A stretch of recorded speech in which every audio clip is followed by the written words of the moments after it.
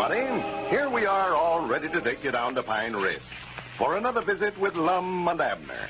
Brought to you by the makers of Horlicks, the original malted milk. Attention, everybody. Hundreds of our friends have written in requesting a photograph of Lum and Abner. We're glad to announce that we now have a limited quantity of 8 by 10 pictures autographed by Lum and Abner themselves.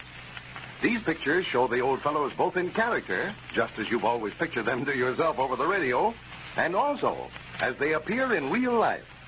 If you want one, and I know you will, just send in your name and address on the back of a wrapper from a half pound or large package of Horlicks malted milk, and we'll send you one right away. Mail your wrapper to Lum and Abner, care of the station to which you are now listening. Got that? But remember this, folks. We have only a limited number of these pictures, and this offer will be withdrawn soon. So to make sure of getting one of these grand souvenirs, I suggest you send your wrapper in right away. And now, let's see what's happening down in Pine Ridge. Well, Lum Abner learned the other day that it was unlawful to start a chain letter, but only after the hog chain letter that they had started had spread like wildfire. well, now the old fellows are trying their best to get the thing stopped. However, they're finding it much easier to start than it is to stop. As we look in on Pine Ridge today, we find Lum and Abner down at the Jot 'em Down store. Lum is talking over the telephone. Listen. Uh, Luther? Uh, this here's Lum Edders. Why, tolerably well. How's yourself? Ah. Well, I'm sorry to hear that. Yeah, must be ailing. Why, Luther, what I called you up about, uh, you got one of them hog chain letters that me and Abner started, didn't you? Ah. Yeah, you was one of them that give us a hog, wasn't you? I know he was. I recollect him. Yeah, well, Abner thought he recollected seeing you bring one over there. Yeah, a little four and over. Well, I wish you'd go over there at his place and pick it out and take it back home. Set out about a hundred pounds. One big. Yeah, we're giving them all back. Yeah, we we found out uh, that that uh, it's against the law to start them chain letters that way. Why, using the mail for defraud or something like that. Dick Huddleston was a telling us. Huh? You have? Well, for the land's sake. He says he's got over 400 hogs just in today himself. Uh, his name must be up at the top of the list and on this time. How's that, Luther?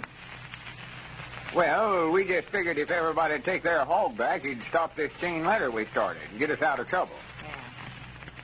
Uh-huh. Yeah. Well, all right, Luther. I don't know to blame you much. No, I don't reckon they could get you. You never started it. All right. Goodbye. What'd you say, Lum? That's what I thought he'd say. Huh? Just like all the rest of them said he didn't want his hog back. Looks like we've started something here we can't stop. Well, I don't know what to do. Got to get them hog back somewhere or other. That penitentiary is staring us right smack in the face. Trouble is, everybody around here knows that me and you's the only ones that can get in any trouble over it, and they ain't trying to help us. Why, no, they don't care where we go to the penitentiary or not. I was talking to Jerry Hausner about it, and he just come right out flat-footed and said he wouldn't have his hog back. Yeah, I know. Yeah, he's the stubbornest feller I ever seen anyway. I think he's kind of crazy myself. Yeah. About the best thing for us to do is just get a truck somewhere and load them hogs up and drive over their places of a night and unload them where they belong into their feller or not. Yeah, but the trouble is, Lum, we don't know where they come from. There were so many folks bringing hogs over there for a day or two that I couldn't keep up with. I don't know who brung them and who didn't. Yeah, That's right.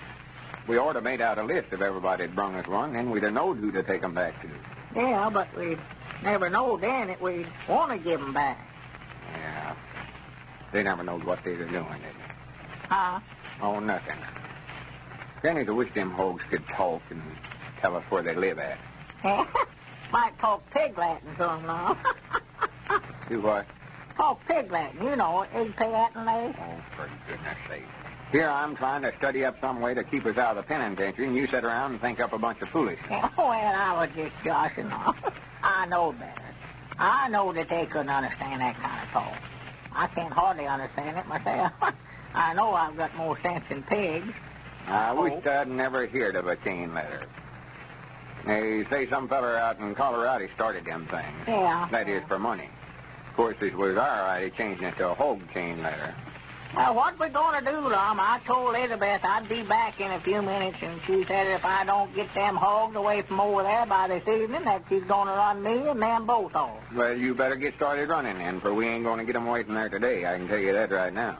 Well, uh, why can't we just go ahead and put a fence around that 80 acres we bought down on the river the other day, Lum, and turn them loose on that? Well, what's the use of going to the expense of fencing that place up if we ain't going to keep the hogs? Well, we've got to put 'em somewhere. They're just ruining our place over there. Looks like a cyclone had hit it. I've got Cedric staying over there now to keep 'em out of stuff, but I don't think he's able to do it. There's so many of 'em. Yeah, granted, there's another thing. We ought to quit selling them over there. Why, sure, that'll be worse off than ever if we don't uh, stop taking folks' money for them hogs that we got that's supposed to be against the law. If we start trying to get them hogs back, no telling where we would find them at. I know, they And- changed hands 15 or 20 times by now. Selling them for three dollars and no telling what they'd want for them back. No, no. Maybe we could start a unchain letter. Do what? A unchain letter. Start a chain letter where everybody give somebody a hog will have to go get it back. Mm. That way, eventually, the hogs will all get back to where they started from. Yeah, that's a good idea if they'll do it. Well, it ought to be a heap easier to get somebody to go get one back than it was to get them to give one away. Yeah, but what about that using the mails to defraud that Dick was talking about? Now, let's don't get no more of these things started through the mail, on. Well, it ought to be again a law to start an unchain letter. Well, you better ask Dick about that. Granny, wait a minute here. That is a good idea. That's a good idea even if it won't work. A good idea if it won't work. Why, sure. That way we won't have to send the hogs we got back to where they come from. Because, uh, well, like if they was to send us to the penitentiary for 10 years for starting them chain letters, it ought to take about 10 years off for starting an unchain letter, so we can't get no more trouble on the deal. We just break even. Yeah, well, I'd rather stop fooling with these chain letters, Lum, before we end up on a chain gang somewhere. That's what I'd rather do. We're what you call fugitives from a chain letter, ain't we? Yeah. Something to think about, though. I don't believe that unchained letter business will work very well anyhow, Abner. I don't that.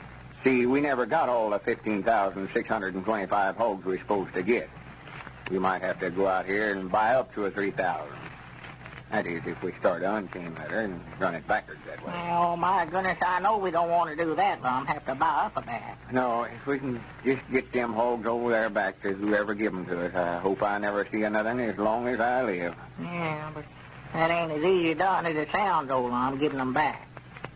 Reckon them hogs would know their way home if we was to just turn them loose. You mean just turn them loose and, and let them go home by themselves? Yeah, dogs and cows and stuff like that will. They will. Cows will always come in at milking time, you know. Yeah. Well, I don't know about hogs, though. I reckon they would. Well, we'd get shut of 'em anyway. Yeah. If the post office department comes down here to investigate who started these chain letters, they couldn't prove nothing on us if we never had no hogs over there. Well, if we don't do something about it pretty quick now, Lum, we won't have a chance to turn 'em loose, for Elizabeth's going to do it first. Yeah. I believe that's the best thing for us to do, Abner. Just open them gates and let 'em go. Yeah, I better answer the phone. I think that's our ring that just rung. It was. I never paid no attention. Yeah, I believe it was. If that ain't none of the post office authorities here now. Hello? Well, tell me who you want first. Yeah, that's who it is. That's who it was. Give him Well- hand. Who is this talking? Well, I can maybe a peasant himself. You're sure about that? Ah. Well, all right. Yeah, this is half of us. This is Lum Edwards talking. Oh, you know what he meant. You've got what? Oh, my goodness alive. Abner, that's the express company in there at the county seat says we've got 36 hogs in there at the express hog. You mean that they broke out and went clean in there? No, no, there- these are some that's been shipped to us. Oh. Wait a minute. Hold the receiver a minute. Uh, me and Mr. Peabody's will have to have a little meeting over this to decide what to do.